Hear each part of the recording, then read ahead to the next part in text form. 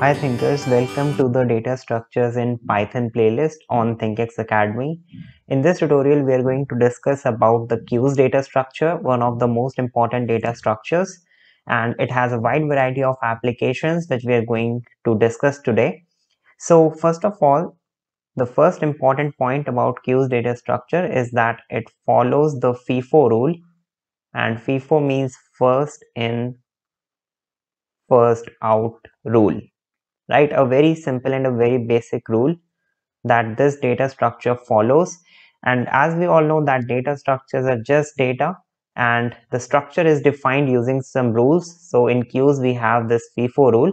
So it just says that the first element that goes inside of the queues is going to become the first element to come out of the queue. Now let me explain you this uh, rule uh, with a very very simple example of a uh, uh, ticket counter right? So let's say there are uh, three people who want to buy a ticket. So they will form a queue something like this right?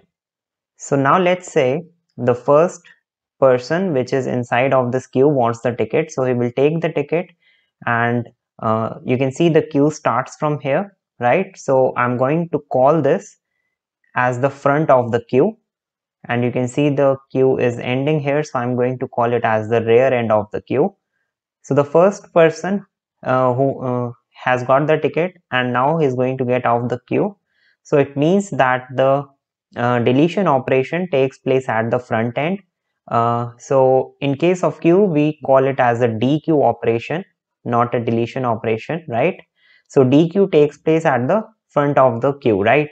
Now let's say we want to insert um, there is another person who wants to join the queue to buy the ticket so he will uh, he's not allowed to join from the front or uh, in between of the queue because that will be cheating. So uh, he will just he will have to go at the back of the queue. And now i'm going to update the rear to this last person right? So this is the status of the queue.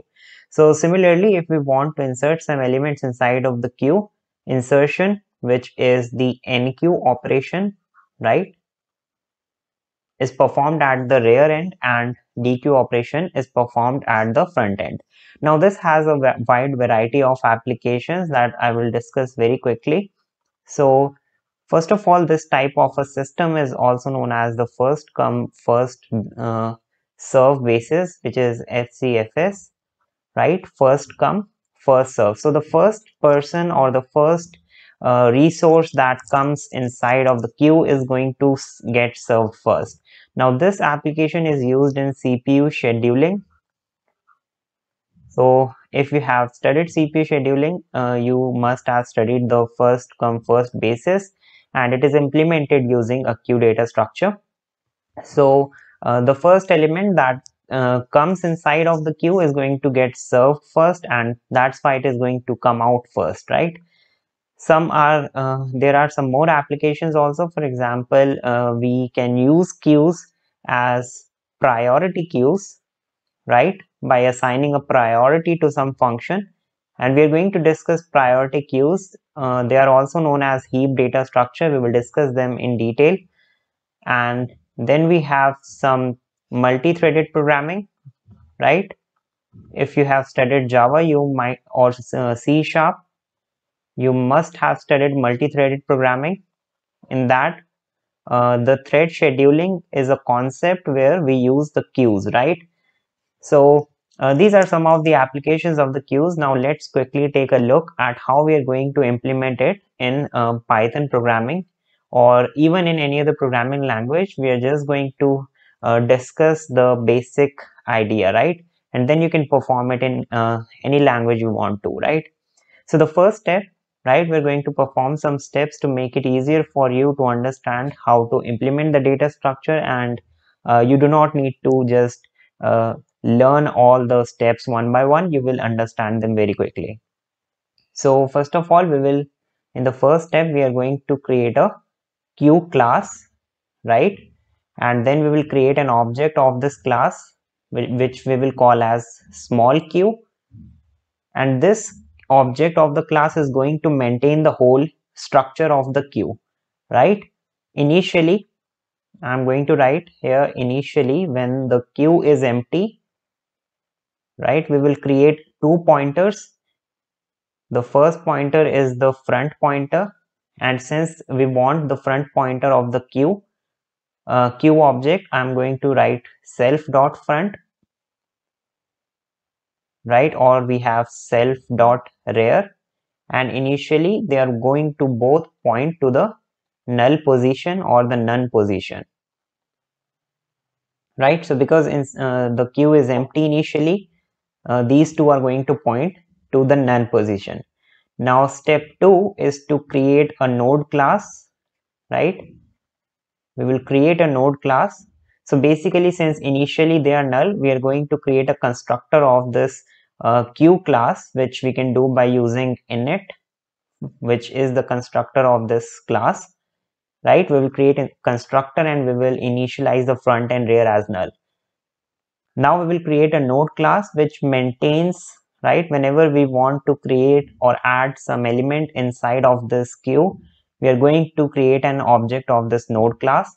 So this node class will have uh, two members which is the data and the next pointer right? So basically we are going to implement the queues data structure using linked list right? There are various methods to implement queues in python. You can use collections also but we are uh, not going to use it because they are frameworks and third-party libraries.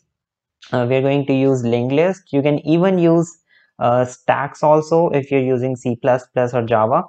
And here we are going to use linked list so in a node class we have the data and we have the next pointer right so now let's see how to perform enqueue operation, which is going to be our step three, right? We will code all of these in the upcoming tutorials. We will code this whole concept. I'm just giving an idea about how uh, you can do it yourself. And from the next tutorial onwards, we will discuss them one by one, right? So in step three, we have the enqueue operation. The enqueue operation demands one parameter, which is going to be the data so let's say I want to enqueue one inside of the queue, right? So initially front and rear was pointing to null, right? So front and rear, they both are pointing to null initially. Now what I want to do is, for that case, what I'm just going to do is I'm going to check if self dot rear, right? Self means we are pointing to the to this object queue, right? Because we are going to call this function using the object queue, right? So queue dot enqueue.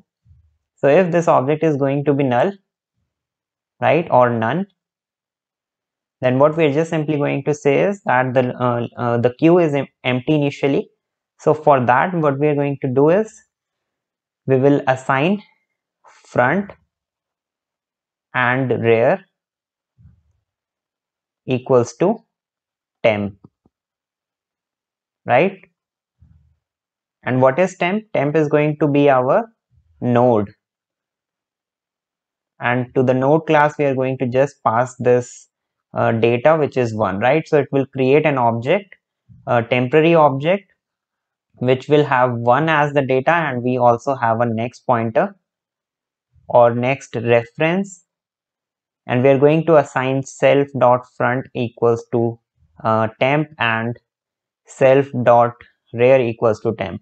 Uh, we can actually do it in a single line by just writing self dot front is equals to self dot rear equals to temp right? We can do it in a single line also right? So uh, this is this case is when the queue is empty. If it is not empty what we are going to do is uh, now you can see that uh, after adding the first element the queue right the object queue will look something like this. We have the one inside of this with the next pointer and front and rear is pointing to this object right?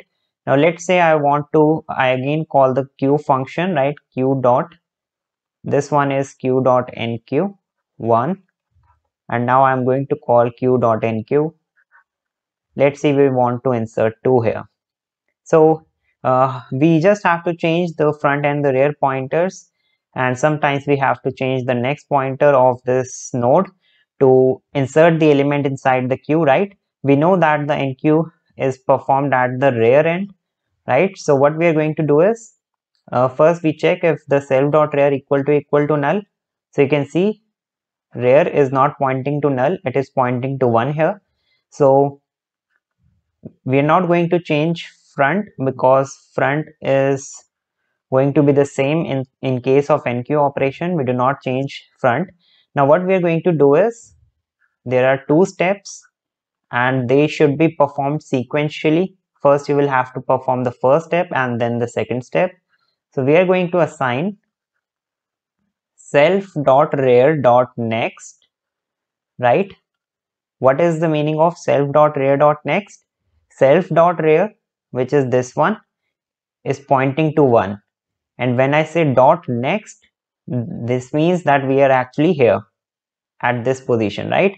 So we are going to assign it as temp right?